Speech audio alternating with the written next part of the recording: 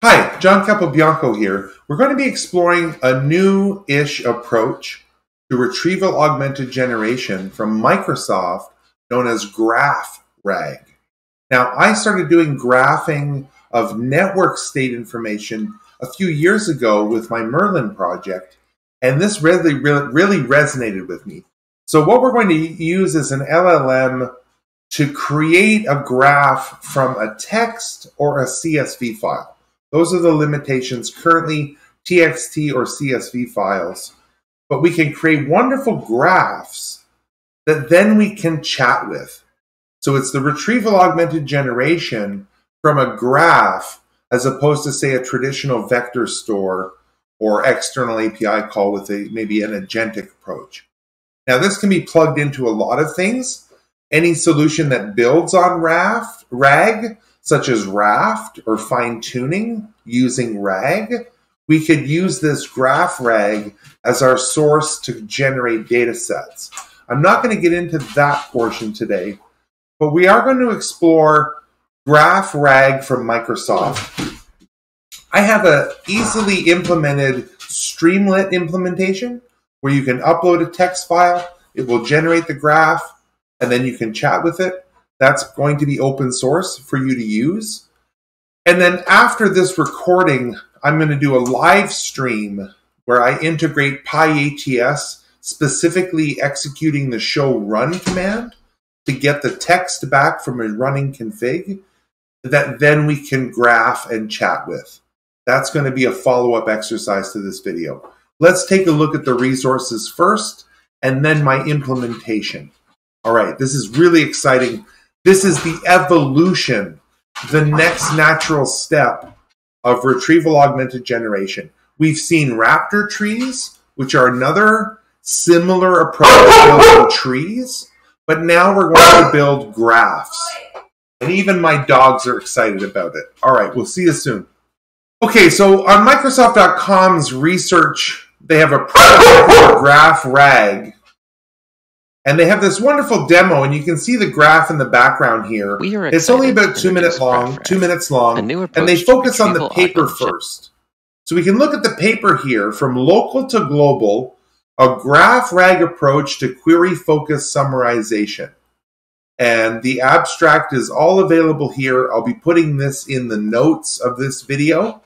But all of the technical specifications and um, you can see these wonderful root communities level, sub communities level, um, different leaf and higher level communities. It's quite an interesting approach, and all of the math and sciences behind it in this paper. Now, a little more practically, there are some blogs we can read. So, unlocking LLM discovery on native narrative private data. This is applying RAG to private data sets, which is what we're going to do. And there's also this other blog, the research blog, new tool for complex data discovery now on GitHub. And this is the GitHub repository, GraphRag slash, you know, github.com slash Microsoft slash GraphRag. We're going to come back to this in a little bit. But this is a blog that's worthwhile reading. Um, some of the advantages, um, the results comparatively to native RAG responses using GraphRag. Some wonderful stuff on here. Now, I like to get right into the building blocks. So if we go to Microsoft GitHub IO slash GraphRag and we go to Getting Started, we have the Getting Started steps. Now, it's really straightforward. Install the GraphRag in a virtual environment with pip, pip install GraphRag. Make an output folder, you know, make an input folder. And then they just give you the example of the uh, Chris, A Christmas Carol by Charles Dickens as the sample text. This is important. We're going to set up a workspace. Now, what this workspace looks like practically is this rag test folder. It will have a cache, an input, an output, and a prompt folder. Now we're going to explore this as I run this, but i am not going to empty the cache because I've already done this once with the OSPF RFC, and we'll talk about that in a little bit. But you'll get this folder structured locally. What's important is this settings.yaml file. Now this settings.yaml file, I can't expose it because it has my API key, but you can set things like the path. So for my storage, because I want to always have a static folder for my output, I've updated from timestamp to an output folder. At the very, very top of this file, you can either use your OpenAI key and the defaults from this settings folder.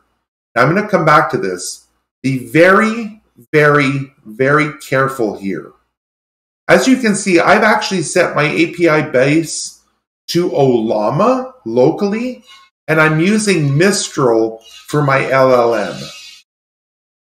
For my embeddings, I am still using the Graph API RAG key, which is my OpenAI key, to use the cloud embedding service because there's so few embeddings that it's basically free.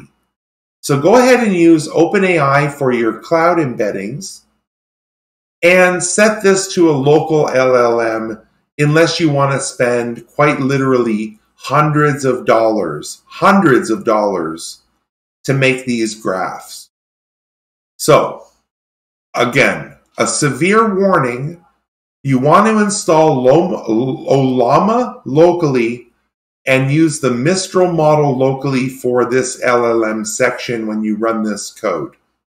It's very easy. Install Ollama, pull the Mistral model, turn on the Ollama server locally, use localhost here, and it will use this local LLM to create the graph.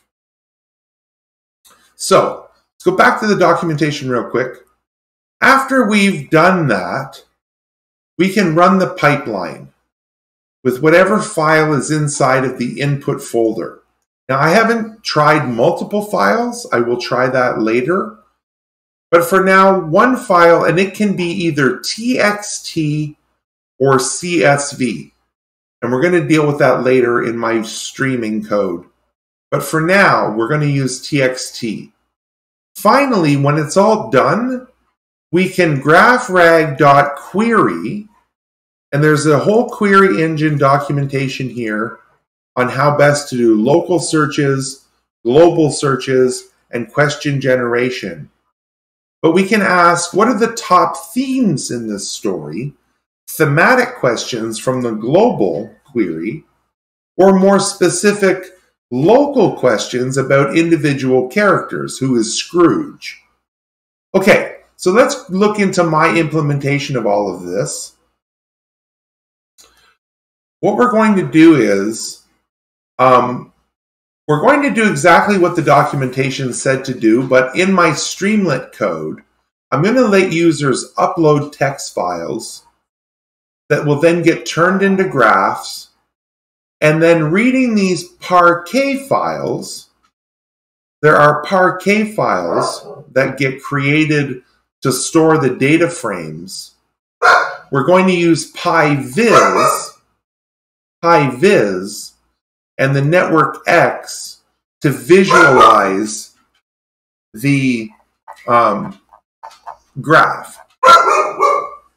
So we're going to visualize the graph, and then at the bottom, we're going to let people ask questions. And just for the sake of a hello world, we're going to ask the question against the global response and the local response.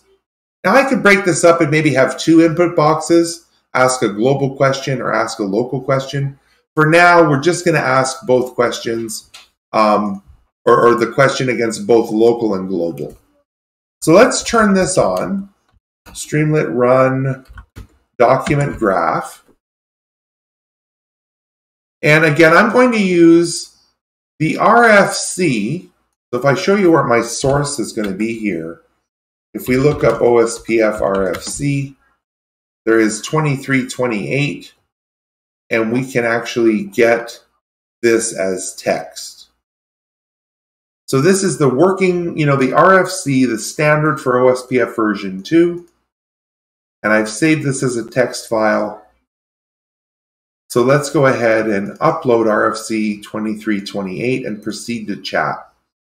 Now, again, I have already done this and it took about one hour, but you can see here, it's starting to break it up using the LLM and creating the graph. So now it's actually hit the GPU. You can see the GPU is going to start to max out. Well, it creates the verb community reports. It has already cached all of these other steps, which took about an hour. Now you can see in the output folder, we have logs. So if we check these logs, there's no logs, which is good. And if I scroll to the bottom here, you can see that it's making the posts against my Ollama chat completions API to finish this graph indexing. Okay, now in my output folder, I have all of these Parquet files now, which I'm going to use to create the graph. Like I don't have to create it, it's used, that, that's the underlying files that store this graph, which we're then going to visualize with PyVis and then be able to ask inference questions about the OSPF RFC standard. Now this is almost done and we'll see it drop out of GPU in a second here. Okay, now all final workflows have successfully completed and I've created this graph HTML page based on the visualization. So let's let the visualization load before we start asking questions from the data. And this will just take a second. Now, I have not fine tuned the visualizations. It's very, the, the, the deeper you scroll, the, there's a lot of overlapping text and it's very hard to read and understand. But I still like to visualize it. And I could adjust that PyVis code maybe to have some padding so that way the, the text doesn't overlap with each other, something like that. I still have to look into that. But in a second, we're going to see the graph of RFC 2328. So there it is. And it's pretty cool.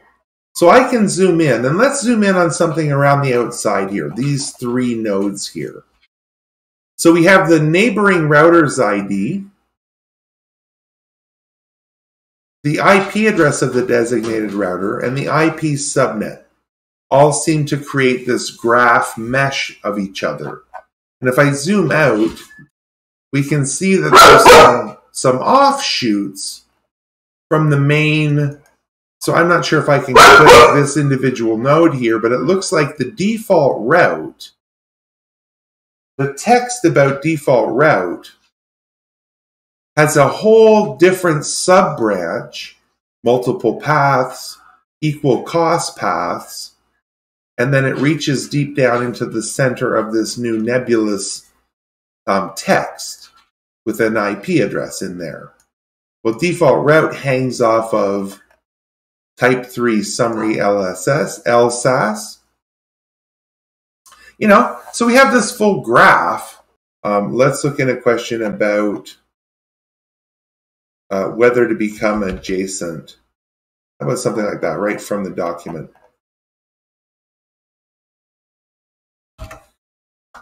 when should neighbors become OSPF adjacent?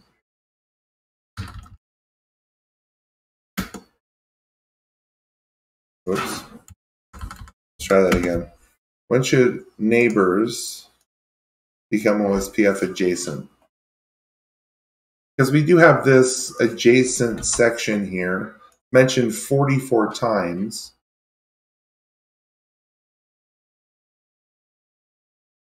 And hopefully it's going to be able to extract some of that. Now it doesn't actually mention port numbers, does it? So that was a bad question, maybe port numbers. Let's ask it about adjacencies instead. Although it did hallucinate, so that's unfortunate. So we're in GPU, so here we go. The global section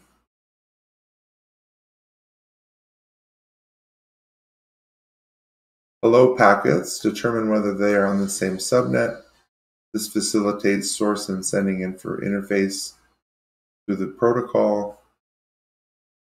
This is a lot better. And then there's the local answer. Here's the key structures involved in the process. Router ID, area structures, LSU, LSAck, Flooding procedure starts when the LSU packet has been received. So, you know, I would need to really look into the RFC, but that's much better when we actually ask it something that's referenced in the document. So what I'm going to do next is try to grab the running config from a device and do this same process. So I'm just going to live stream it, but what I'm going to do next is use PyATS to get the show run. Now show run is the running config, and we can save that as a text file quite easily with PyATS. We're going to save it in the inputs folder after we create our virtual environment for RAG graph. Save that running config in the input folder, create a graph out of it, visualize it, and then ask questions about the running config. Now that's going to be easier for me to ask questions than an RFC that I haven't read in 20 years. So let's stay tuned. Don't be discouraged by the hallucinations. I just want to explore this new idea of RAG graph. The other thing I want to really stress if you've made it to the end of the video, be very, very careful with the cost. Be very careful if you use your OpenAI key, particularly for the LLM portion it's going to cost you a significant amount of money. So be very, very careful here. All right, we'll see you soon on the live stream.